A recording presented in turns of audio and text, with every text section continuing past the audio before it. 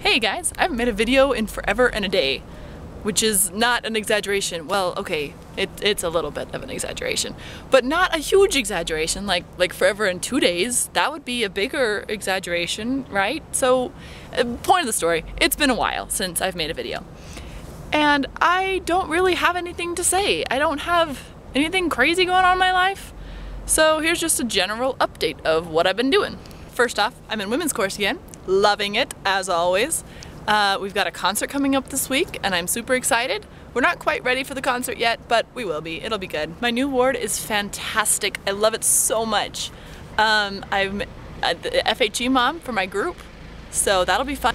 If you have any good ideas of activities that you've done before or things that you think would be fun for me to do, you should let me know because it's kind of a lot of responsibility to be an FHE mom and I'm, you know, a little bit freaking out. Not a lot, just just a, just a little bit. Um, but yeah, I love my new ward. Everyone is so nice and friendly and I feel really welcome in this ward. So that's great. I'm taking like 1200 classes on babies and that's not an exaggeration. Okay, it, it is an exaggeration. That one I'll give you. But um, I'm taking like three classes on babies and it's kind of hard because I'm learning the same kind of stuff in each class but a little bit different. And so I'm, it's hard to remember which class I have which homework in and which class I have to do what reading for. And it's kind of difficult especially my language class mixed with my cognitive development class because a lot of those are kind of the same but different. And so it's a problem if I mess it up but I, it's so hard not to but I really like it and that's why I'm taking human development. So yay, human development classes! Also, I just want to point out where I'm sitting. I'm sitting in the creepy statue garden of the MOA. There's like all these weird statues. I don't know if you can see.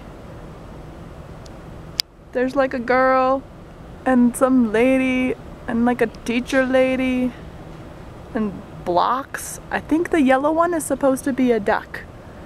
I'm pretty sure it's duck because it's in the water.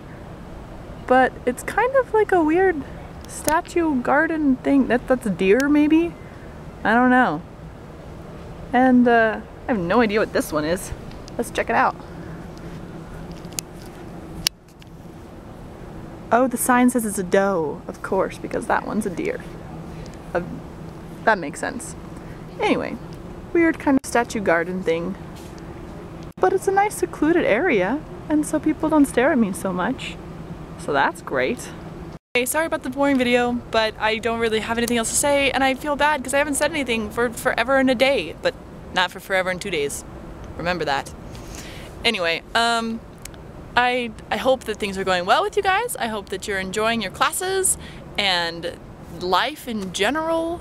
And yeah, I just have have awesome lives. Just just have awesome lives. Or, or one life. You each only have one. But I want all of you to have an awesome life, individually. Or, or together, whatever, just awesomeness to you. I think it's Batman. The sign says cat head. Pretty sure it's actually Batman. This one says resurrection.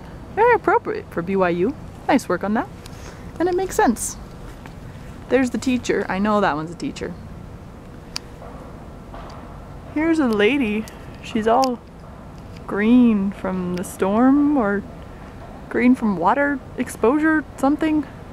Her name's Christina, according to the sign. Huh. It's not what I would name a giant green lady. Duck. It really is a duck. The sign confirmed. There's a woman fetching water next to the duck. Uh, and I will go and fetch the water. Yep, that's what she's doing, by the duck. And there's the diving girl. At least, what would you think this is? Keep in mind, everything is abstract. It's a golf pin? What? How, how, how do you fit into this, this garden? Golf pin? What?